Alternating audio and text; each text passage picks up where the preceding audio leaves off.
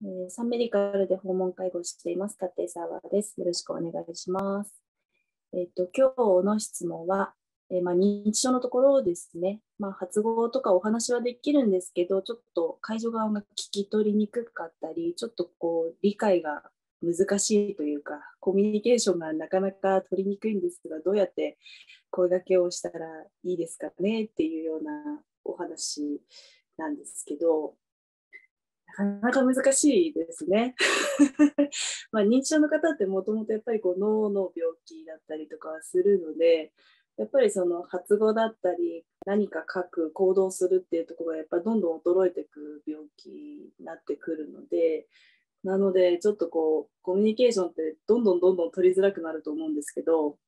私の場合はもう本当に単純にイエス・ノーじゃないですけど、もう選択を2つ多くやらずに、これあれとかではなく、もうこっちあっちみたいな感じで、もうあの指さしたりとか、こう自分がこう動いてっていう感じですね。相手から答えを求めるっていうよりかは、もう自分が例えばリンゴとバナナがありましたって、どっち食べたいってなった時にもう見せて、こっちリンゴ？バナナみたいな感じで、もう本当にあの自分が逆に行動しますね。なので相手から聞き出すっていうよりかは、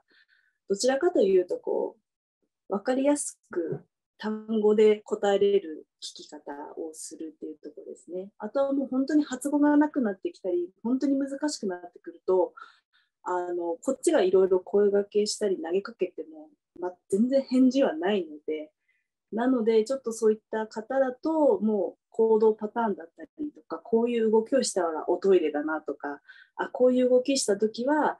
あちょっとお腹空いてるのかなとかやっぱ施設とかだとそういう行動パターンで見れると思うので在宅はちょっとなかなか難しいんですけどそこはご家族に聞いたりとかっていう情報を得ながらちょっとこうこっちが一歩前に行くというか先を行くような感じで接するようには